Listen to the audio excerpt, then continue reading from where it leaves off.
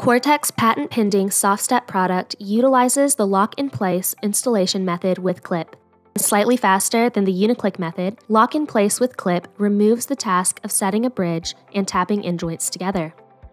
Start installing SoftStep as you would any other COREtec product. Use installation spacers around the perimeter of the product to ensure the correct expansion space is maintained. In the first row, place the second plank tight against the short end of the first plank. Fold the plank down into the locked position in a single movement.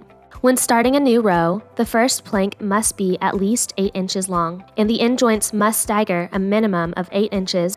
Place the first plank of the new row at an angle against the plank in the previous row. Press the long edge forward against the previous row and fold down at the same time.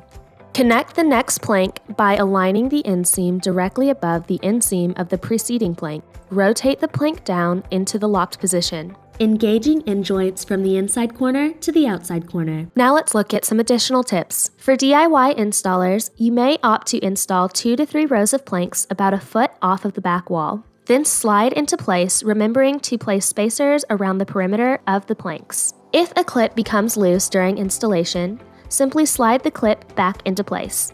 Ensure loose clips are inserted facing the same direction. Additionally, if a plank needs to be removed during installation, the installer will need to disengage the entire row and slide the end joints apart laterally. Finally, measure and cut the last row to fit.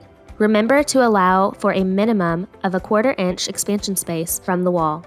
Thank you for watching this short installation video about our soft step lock in place with clip technology.